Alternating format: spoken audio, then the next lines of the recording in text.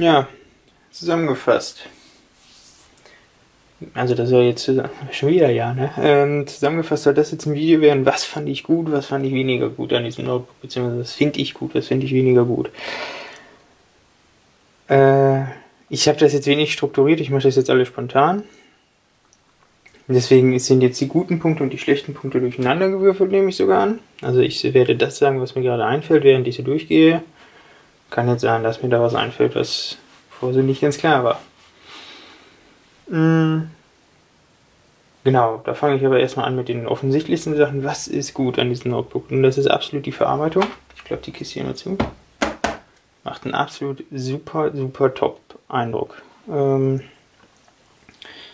also da behaupte ich sogar, da hat Asus ganze Arbeit geleistet. Das, also das Notebook ist top verarbeitet. Es handelt sich ja hierbei jetzt um das UX23, um das UX32 VD, äh, welches teilweise aus Kunststoff und teilweise aus Aluminium besteht, bestehen soll. Und das Kunststoff ist, ist äh, mit Aluminium überzogen, beziehungsweise beschichtet und fühlt sich dadurch ähm, an wie Aluminium tut, dir, tut der Sache überhaupt keinen Abbruch, fühlt sich top an, fühlt sich top an, wirklich. Ähm, bei den ThinkPads hat man irgendwie immer so dieses Gefühl, ähm, ja, ich habe das Notebook, damit kann ich jetzt die, die Nägel in die Wand hauen. Das hat man bei dem nicht, äh, das mag jetzt dadurch sein, weil sich das, äh, ja, Aluminium fühlt sich anders an als gummierte Kunststoffoberfläche oder Magnesiumoberfläche und ähm, dadurch, also man bekommt irgendwie diesen empfindlichen, ja, also man denkt, also man assoziiert das gleich, dass das Aluminium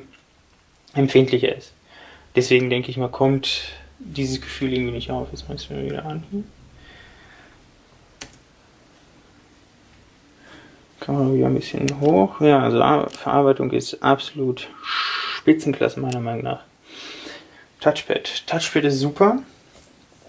Besteht, glaube ich, soweit ich das weiß, aus Glas. Fühlt sich immer top an. Man hat es nicht irgendwie so, dass jetzt nach einer Zeit oder nach zwei, drei Stunden, man hat ein bisschen schwitzigere Finger, dass sich das hier irgendwie schmiert oder so. Nein, das fühlt sich immer absolut top an. Und klicken ist auch super. Was ich mittlerweile gewohnt bin, absolut gewohnt bin, mache ich auch bei meinem Arbeitsnotebook, versuche ich es jedes Fall, aber es geht nicht. Zwei Finger runterscrollen, drei Finger zurück. Gestensteuerung ist auch hier, zum Beispiel E-Mail-Programm. Jetzt habe ich hier jetzt gerade die App von Tom Software auf. Dieses immer hin und her springen absolut super. Also Gestensteuerung geht unter Windows 8 schon bedingt.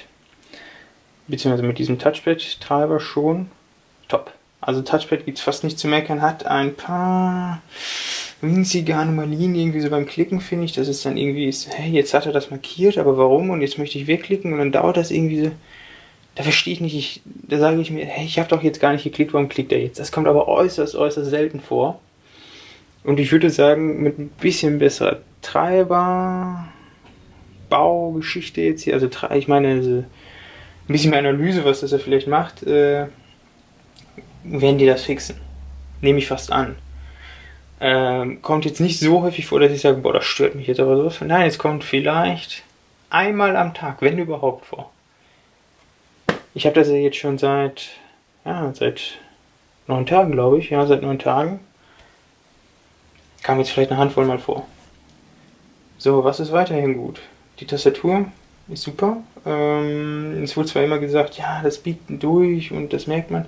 Ja, das biegt durch, das hatte ich ja auch schon gezeigt in einem Video. Eindrücke und Rundgang und so, das waren 40 Minuten, Leute. Ein bisschen höheres, äh, längeres Video.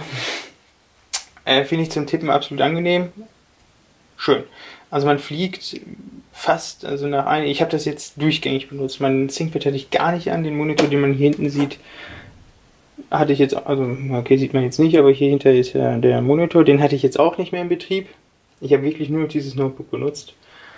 Und ähm, Tastatur ist super zum Tippen. Ähm, okay, gerade irgendwie Telefon, äh, naja, blöd. So, wo war ich jetzt stehen geblieben?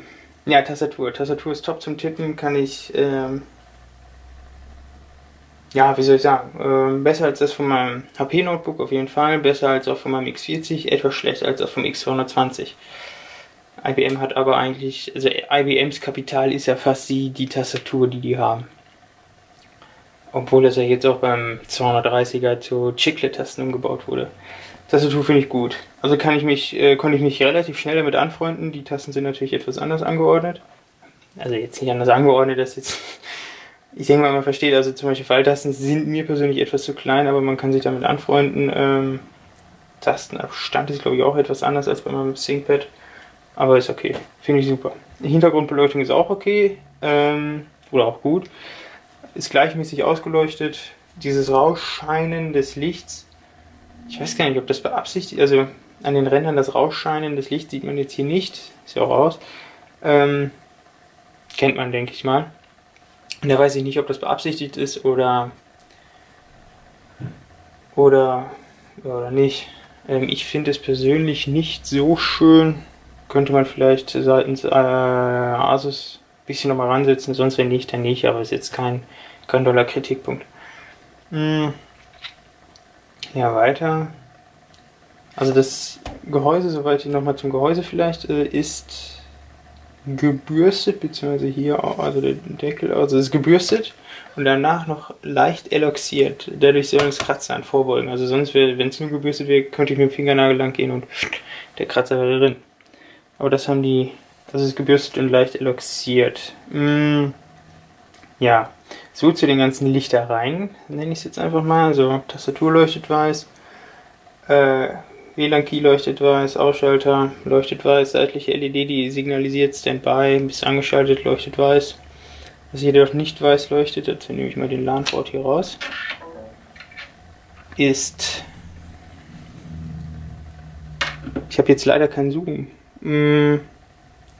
Auf jeden Fall, vielleicht sieht man das ja hier, der Kollege leuchtet grün.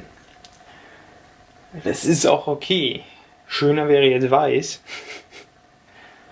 ähm, also, um sozusagen das Netzteil bzw. der Stecker leuchtet orange, wenn er lädt, und er leuchtet grün, wenn er voll ist. Jetzt frage ich mich, ähm, warum das so sein musste. Orange finde ich gut. Aber warum muss er denn grün leuchten, wenn er voll ist? Ich meine, man hätte es so signalisieren können.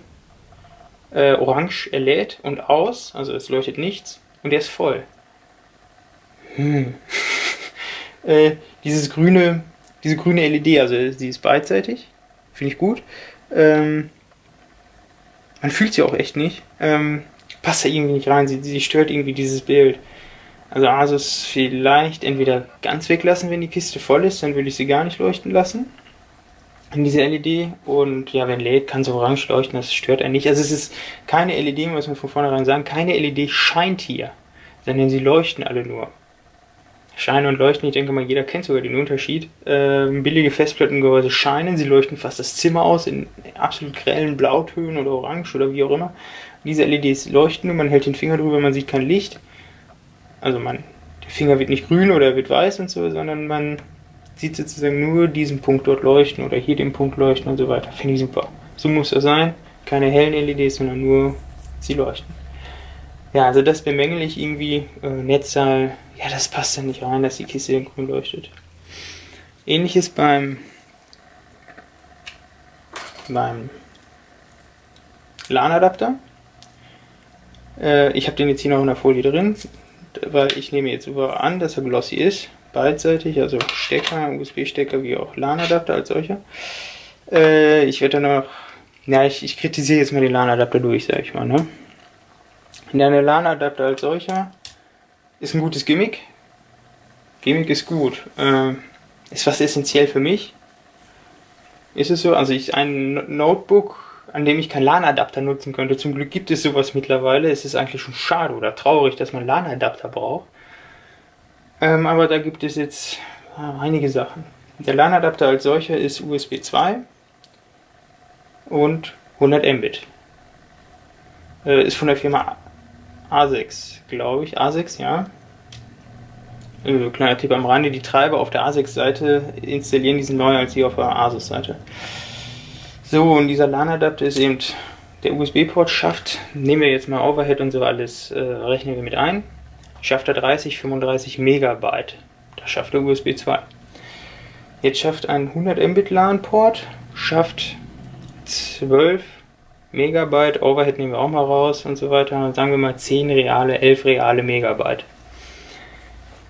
Ja, Jetzt hätte man die Firma selber, ich habe mich ein bisschen informiert, die Firma selber bietet einen USB 2 Gigabit Chip an. Ähm, gleiche Spezifikation sogar fast. Ähm, damit hätte man den Flaschenhals auf den USB-Port gelegt und nicht auf den LAN-Port. So hätte man wenigstens schon mal 30 Megabyte nutzen können und nicht nur 10, weil jetzt 100 Mbit. Die bieten aber auch einen USB 3 Gigabit Chip an. Und damit hätte man Gigabit nutzen können. Nein, in der Theorie. Also theoretisch Gigabit auf jeden Fall mehr als 30 Megabyte nutzen können. Finde ich schade. Also was ich hier wirklich Asus sagen würde, Schön, dass er beigelegt hat, aber hier jetzt bitte Gigabit-Chip rein. Okay, USB 2 würde reichen. Es ist aber schöner, wenn er da jetzt doch einen richtig vollwertigen Gigabit-Support einbaut. Äh, selber noch zu erwähnen ist, der USB-Adapter ist PXE-fähig. Das ist gut. Man kann damit jetzt also booten. Also übers Netzwerk booten. Top. Ähm, Wake on LAN hat er jetzt nicht, soweit ich das weiß. Müsste man aber nochmal schauen. Habe ich jetzt auch nicht ausprobiert. Aber ich meine, ich habe da jetzt kein Wake on LAN irgendwie zu doll gefunden. Äh, ja, Glossy. Warum Glossy? auch wenn jetzt hier in der Folie, also die Folie wird ja nicht umsonst so sein, der ist Glossy. Also, keine Glossy Adapter, alles matt machen. Die, es sieht länger schöner aus, Asus. Es ist wirklich so. Lieber matt machen. Es sieht dafür länger schöner aus als einmal kurz. Schön. Äh, also auspacken und nach drei Tagen sagt man sich, scheiße, wie sieht das Teil aus? Ist, ist einfach blöd. Länger, schöner aussehen, ist besser. Ihr habt das Corsair auch leicht eloxiert und nicht nur gebürstet. Äh, dann ist hier auf der Rückseite ist eine LED, die den LAN-Status angibt, also ob Daten gesendet werden oder nicht. Finde ich super. Daumen hoch dafür, also richtig top, hätte ich nicht erwartet. Ähm, ich bin einer, der, der gerne weiß, sozusagen, wenn ich jetzt Aktivität sehe und nicht. Äh, LED solltet ihr eine neue Version davon aufbauen, oder das denke ich mal, das werdet ihr. LAN-Adapter beilegen, auf jeden Fall. Wenn ihr keinen einbaut, müsst ihr einen beilegen, auf jeden Fall. Gigabit sollte er sein und die LED muss drin sein. Diese LED stört mich jetzt aber wieder von der Farbe. Äh, sie leuchtet auch grün, diese typische LAN-LEDs. Ich glaube, jeder kennt sie. Macht sie bitte weiß. Passt besser. Also passt einfach besser zum Gesamtbild. Genau das gleiche, wie ich es jetzt hier bemängel mit dem mit dem Netze. Sonst ist es, ist er top. Er debitant warm, aber ist okay. Ist ja eine aktive LAN-Komponente. Dann gehe ich jetzt mal weiter zum, äh, zum Netzteil. Das werde ich jetzt nicht hochholen. Hm, das Netzteil ist glossy. Es ist ein glossy Netzteil. Modular aufgebaut, also man kann den Stecker rausnehmen. Es ist ein, ein Wallbrick, glaube ich, so nennt sich es teilweise im Englischen, wie man so schön sagt. Also man kann es in die Wand reinstecken direkt oder eben per zweipoligem Kabel äh, anstecken, so dass es auf dem Boden liegt. Auf diesem Netzteil befindet sich der Windows Key. Hm. Das weiß ich nicht, ob das so schön sinnvoll ist. Microsoft macht zwar die Vorgabe, dass das irgendwie, dass dieser Key vorhanden sein muss auf dem Gerät, aber ich empfinde es nicht gut. Also einerseits finde ich es scheiße, also wirklich schlecht, dass dieses Teil wieder glossy ist. Das gleiche wie beim LAN-Adapter und auch beim VGA-Adapter. Glossy ist blöd, gerade beim Netzteil, das Ding sieht aus. Ich hatte es sogar ausgepackt aus der Folie und es war schon verkratzt. und ich würde jetzt sagen, ich habe nicht die rausten Hände als Informatiker. Hm, also macht es matt, kommt. Ein shiny Netzteil braucht kein Mensch, macht es matt, sieht länger besser aus. Ähm ja, ja, ja, ja. Mm, was geht's weiter? Ja, Sound. Sound bei diesem Notebook ist absolut top. Habe ich auch ein extra Video gemacht und versucht einzufangen. Ich, das ist mir jetzt, glaube ich, nicht ganz so gut gelungen, aber man kann sich ein Bild davon machen. Sound ist top. Super, Leute. Also ich habe zwar ein AVR, aber ich hatte das Notebook jetzt nicht da dran geschlossen. Ich wollte es echt hören und ich war echt zufrieden mit dem Ton. Natürlich, richtige Lautsprecher bieten einen besseren Ton, vollkommen klar. Aber für einen Laptop ist das echt super, super, super Klang. Ähm, und ich, wer, wer mehr zum Ton hören will, der guckt sich das extra Video an. Display, auch hier habe ich ein extra Video zu gemacht. Display ist top. Farben, klasse. Also wenn ihr das Teil nochmal baut, äh, baut nur ein besseres Display ein. Nicht schlechter. Oder das gleiche. Äh, Farben sind absolut top. Ähm, Auflösung top. Full HD. Ginge noch höher, ginge noch höher. Das 11 Zoll hat nämlich auch Full HD. Das ist das 13,3 Zoll. Also wenn ihr von hier aus die, die gleiche ähm, Pixel per Inch hinkriegt wie beim 11 Zoll, beim 13 Zoll auch, wäre ich euch noch dankbarer.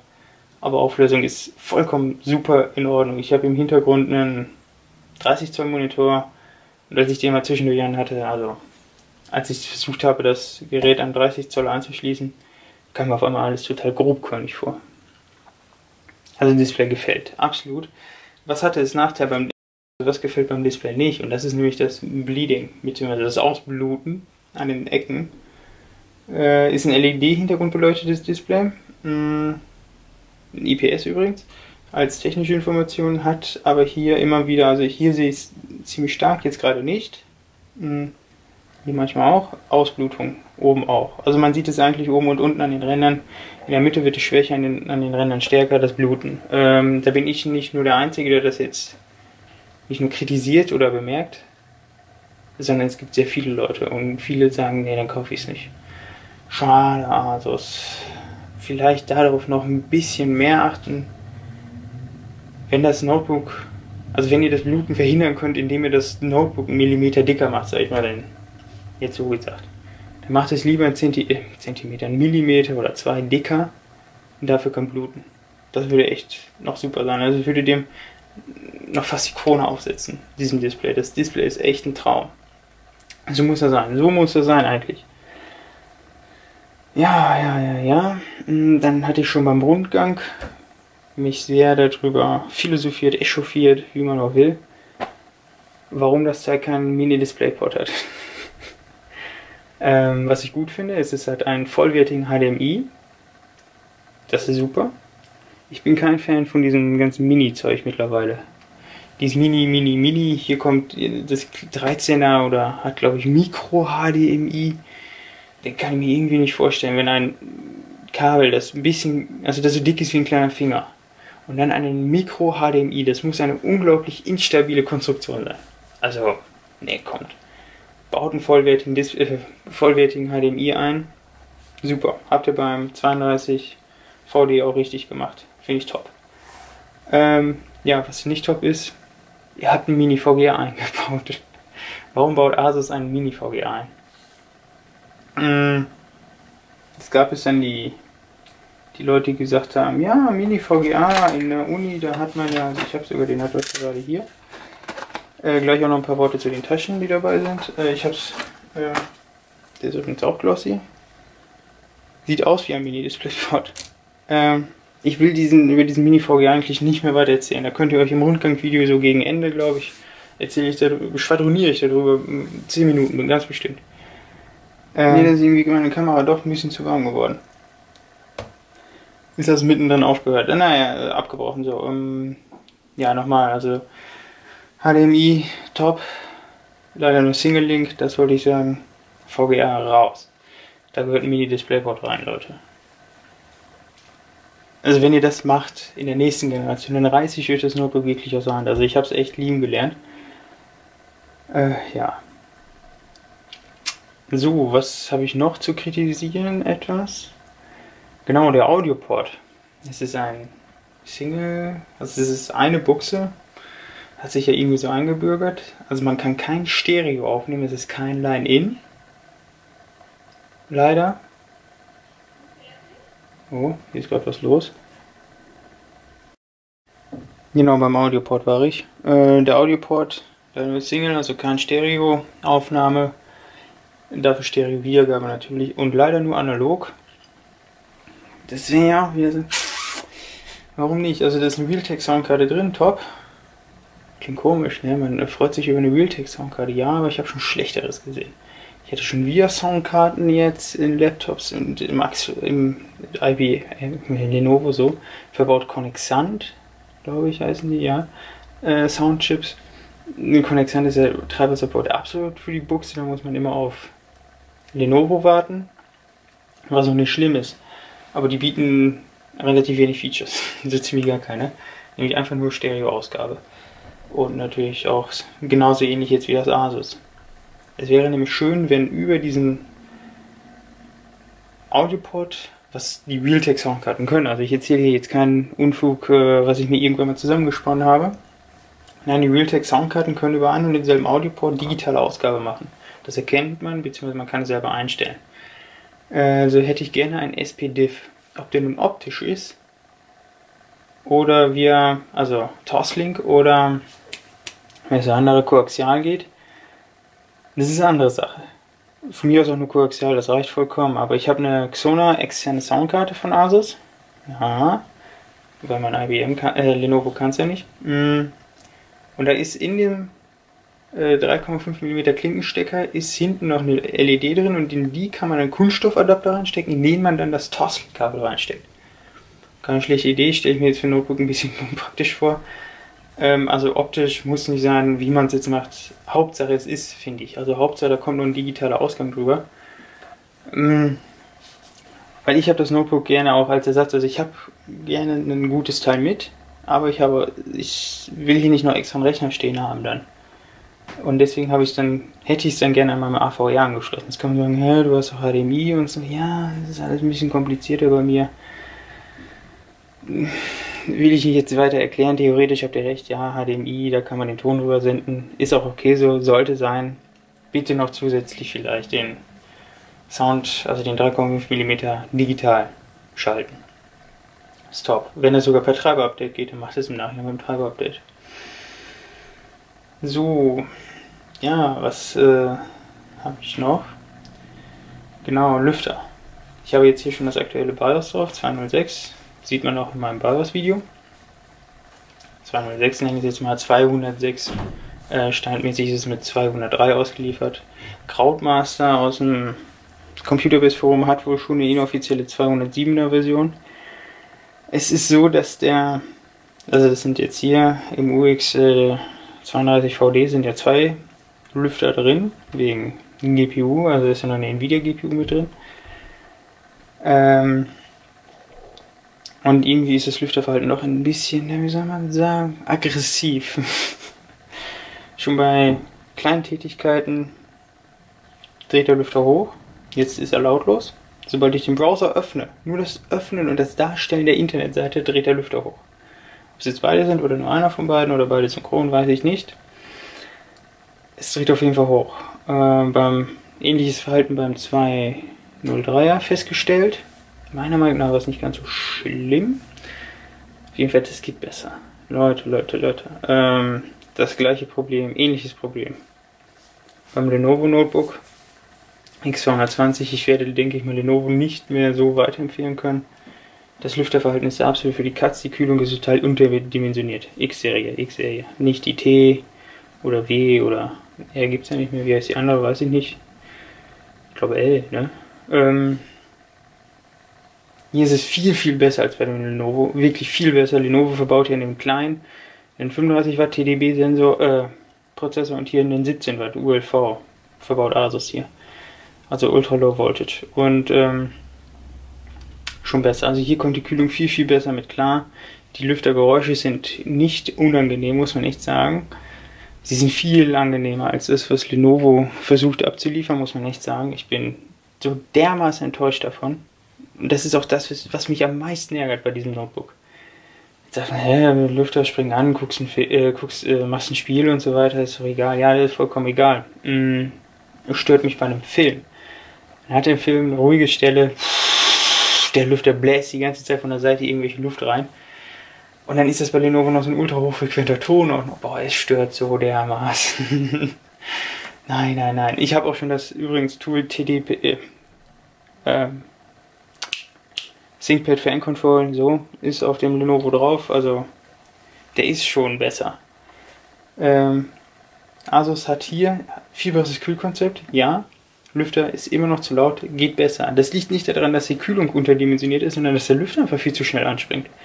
Und äh, schon ab Temperaturen von hm, knapp über 30 Grad möchte ich fast sagen.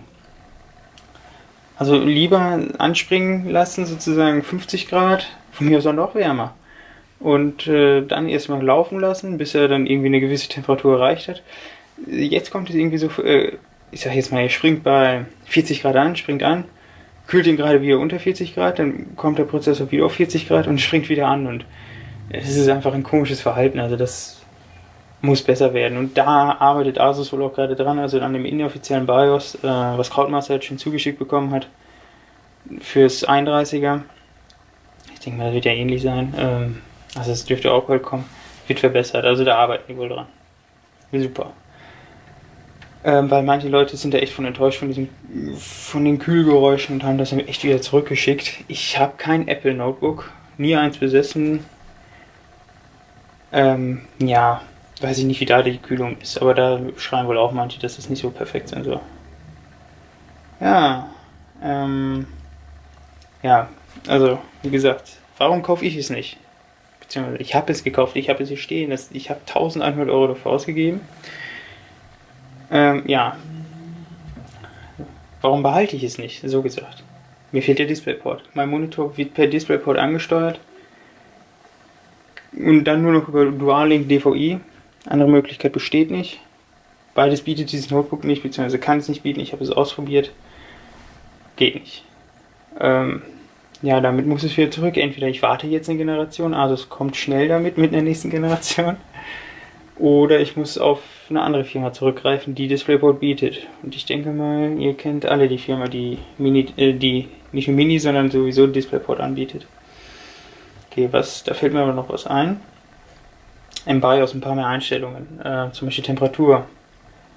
Ob, also es muss nicht eine Temperaturschaltung da drin sein, dass man jetzt sagt, ja, hier auf 49 Grad runterkühlen und so weiter, sondern vielleicht eine Kühlung so von wegen aggressiv, moderat und äh, quiet sage ich mal. Äh, dass man selber einstellen kann, wie warm soll das Notebook sein und sowas alles. Also wenn jetzt, wenn man einen Quiet Mode gestellt hat, das, dann weiß man, dass das Notebook ein bisschen wärmer wird, dafür ist die Kühlung leiser und so weiter und so fort. Sowas wäre schön. Mhm. Genau, da muss ich nämlich, jetzt komme ich zu den meinen eigentlichen abschließenden Worten. Das hatte ich im Forum schon mal bei Computerbase gesagt. Ähm, also ihr habt ein Notebook für die Nerds und für die Geeks gebaut, sage ich jetzt mal. Ihr habt ein Top-Display reingebaut, eine gute Tastatur, Hintergrund beleuchtet, geile Auflösung. Das ist das, was sich die Leute, die sich damit auskennen, wünschen. Das ist auch das, was sich die Leute, die sich nicht damit auskennen, wünschen. Äh, nur nicht wissen, wie sie es beschreiben sollen, sage ich mal. Wenn ich das jetzt meiner Mutter, ich habe es meiner Mutter gezeigt und die sagt, boah, das Bild ist gut. Natürlich, sie kann es nicht in Worte fassen, warum das Bild besser ist. Sie kennt solche Techniken wie IPS oder Full HD nicht, wenn man es als Technik bezeichnen will. Ähm, aber sie sagt, das Display ist besser. Es wünscht sich jeder ein gutes Gerät. Ihr habt jetzt ein Gerät gebaut, das, ein, das mattiert ist. Super. Es ist mattiert. Apple bietet sowas nicht mehr an, wahrscheinlich in den neuen Geräten. Die neuen MacBook Airs werden das nicht haben. Die alten haben sie jetzt auch nicht schon nicht. Die Pros wahrscheinlich gar nicht mehr. Mattiert, geil perfekt. Geiles Display, super. Gute Tastatur, sehr gutes Touchpad. Ich habe äh, erst dachte ich, okay, äh, ich werde meinen Trackpoint vermissen. Nein, vermisse ich nicht. Ich, ich vermisse sogar teilweise nicht mal meine Maus. Ich habe hier keine Maus angeschlossen. Ihr habt ein Gerät wirklich für den Typen gebaut, der sich auskennt und der sich nicht auskennt. Ich bin, ich zähle mich sehr zu den Typen, die sich auskennen. Was fehlen mir? Ja, mir fehlt der LAN-Port. Technisch ist es möglich. Sony verbaut sowas im Vario Z schon in den älteren BIOS. Äh, und Samsung auch. Ausklappbare LAN-Ports. Ihr habt jetzt ein sleek Design, sage ich jetzt mal, gebaut. Wenn ich den LAN-Adapter aber daneben halte, ist der weitaus niedriger. Äh, beziehungsweise ist der niedriger als euer Gerät sozusagen. Ein LAN-Port passt rein. Ausklappbar. Aber er würde reinpassen, ja.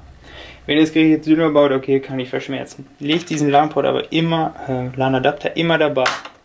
Damit kann ich leben sag ich mal, damit kann jeder andere auch leben. Mit VGA kann ich nicht mehr leben. Ich denke mal, darüber werde ich nicht mehr weiter zu reden kommen.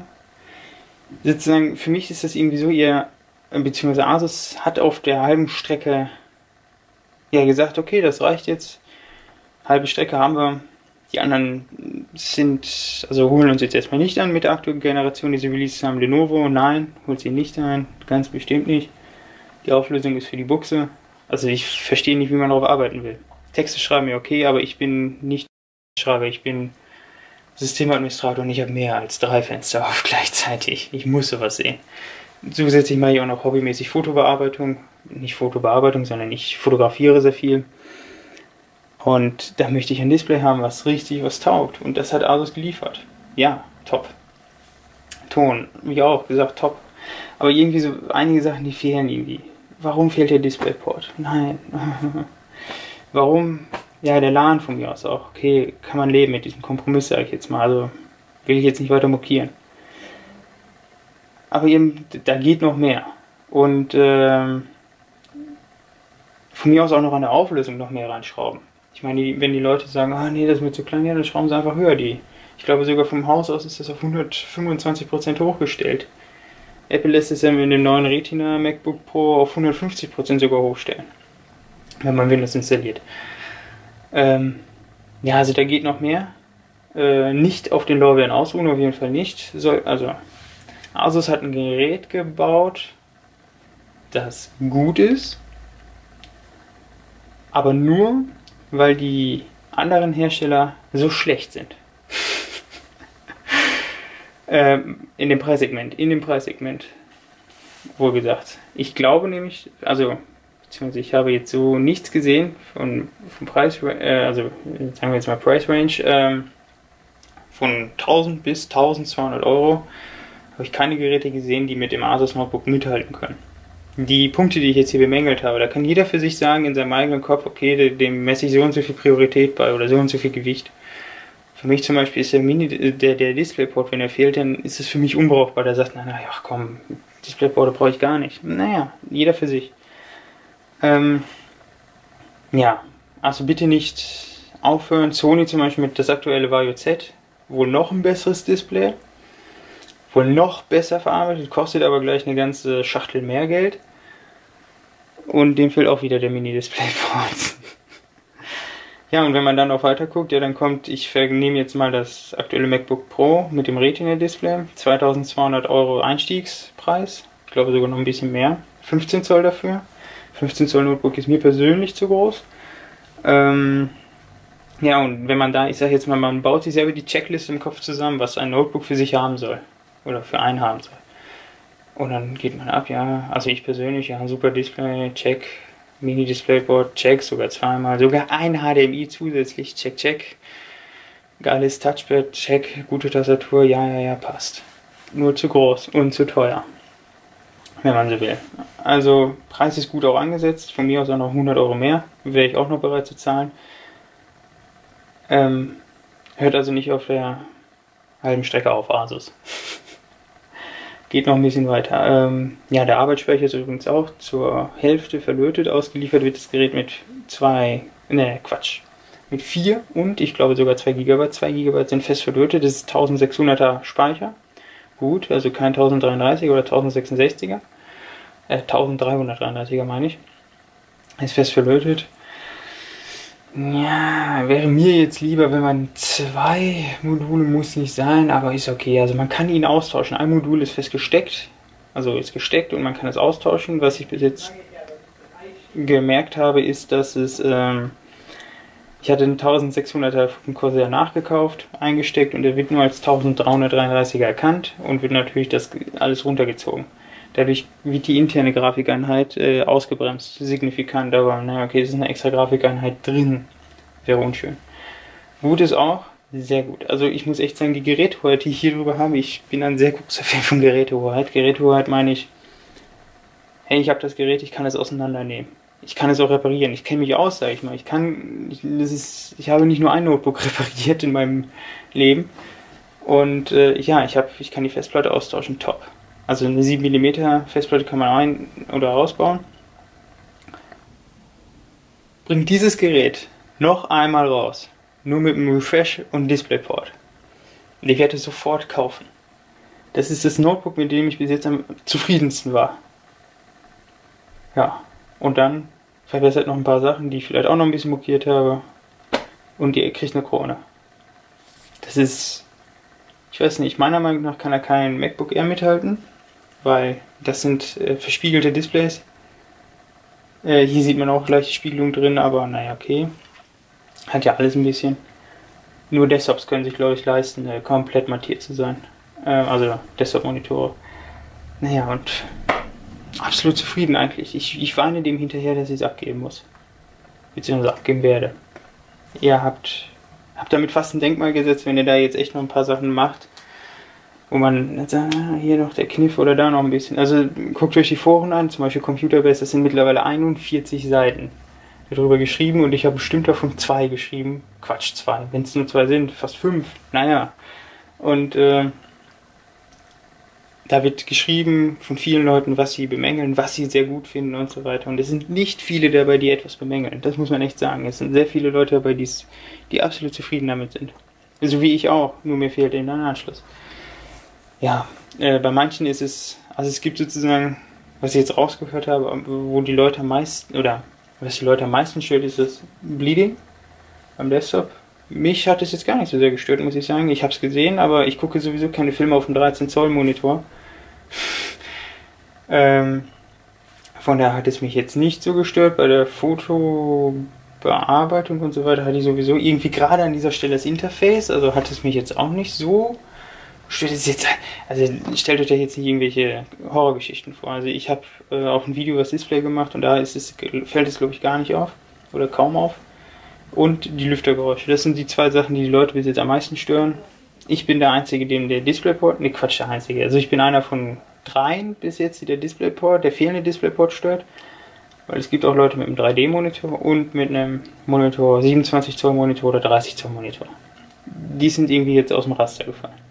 Also baut nicht ein Notebook für den Consumer Asus, für den, ich sage jetzt mal für den dummen Consumer, sondern ihr habt ein Notebook gebaut für den Nerd, für den Geek und jetzt baut noch die fehlenden Sachen ein. Ach ja, was noch vielleicht ein E-SATA P, aber das ist egal. Ich glaube, das interessiert auch kaum noch einen. E-SATA P, oh, E-SATA P ist zwar ein schöner Anschluss, aber ich denke mal, das werde ich, also ist es nicht realistisch, das hier drin zu sehen. Es wäre super, wenn er hier drin wäre, aber dann werde ich wahrscheinlich nicht sehen. Ja, das war's. Äh, mir fällt nichts mehr ein, was ich sagen könnte. Ach ja, Taschen, Taschen, Taschen. Also es gibt zwei Taschen dazu. Einmal fürs Notebook, einmal für die Adapter. Top-Teile. Ich hoffe mal, der fokussiert. Kollege, Kollege, fokussieren. So. Äh, Top-Teile. Hm, ja, finde ich super. Also, ähm, ja, also, also wie gesagt, äh, spart nicht an dem, was ihr jetzt gemacht habt, sondern legt noch einen oben drauf. Das vielleicht als Abschlusswort. Also macht es nur noch besser. Das, was ihr jetzt gemacht habt, ist schon fast perfekt. Ja, ich melde mich ab.